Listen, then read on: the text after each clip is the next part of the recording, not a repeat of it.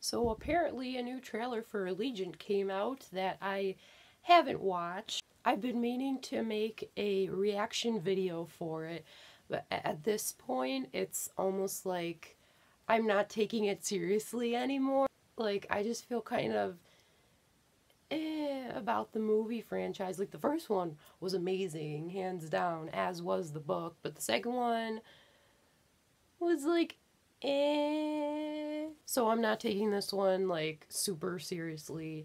I already did a reaction video for like the first trailer that came out, but I wanted to do a reaction for this one. So let's go ahead and do that now. Every time. I'm assuming it's the one called Tear Down the Wall because that was just uploaded three weeks ago. Okay, here we go. Interesting music choice.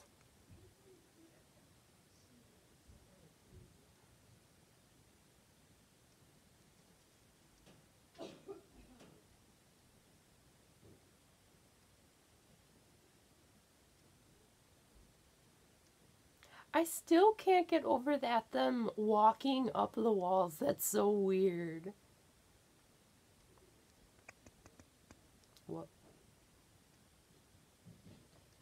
This person's voice in this music is really weird right now. Oh. Is she naked? Is this a shower scene? Yeah, this is a shower scene. I saw that all over Twitter.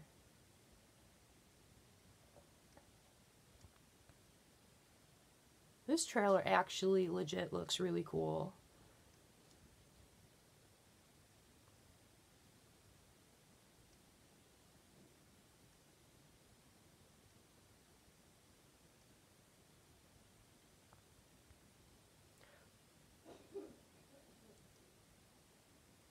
What the heck?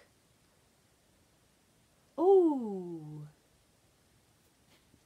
Well, a lot happened in that trailer. There's just so much happening all at once that I didn't know what to react to. Like, in this one, we see something new. Like, we see these, like, raider people, like, coming in ships, and, like, one of them looks like they're, like, kidnapping Tris or something. Like, what the heck is that all about? Like, that wasn't in the book, but then again, nothing in these trailers or in the book, so I'm just going to completely disregard that forever from now on, which I guess is kind of okay because the book was really boring. There's also the shower scene that was all over the internet, at least for me it was. I saw it all over Twitter. I'm like, the heck is this? Also, there was someone falling off the wall um, like, excuse me, who was that? Like, I hope it's not anyone important. We also see the return of those egg things. Like, I don't know what that's about either. Just people floating in the sky in, like, egg spaceship receptacle things. I don't even know. You got me. It, it's weird. But overall, it was actually a pretty good trailer, better than the last one.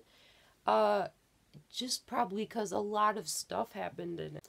It just looked really interesting. I really want to find out what exactly happens in this movie because I'm very intrigued to know how they changed the plot because I am so confused. It's not the book, obviously, but I'm really interested to see how they're going to change this one.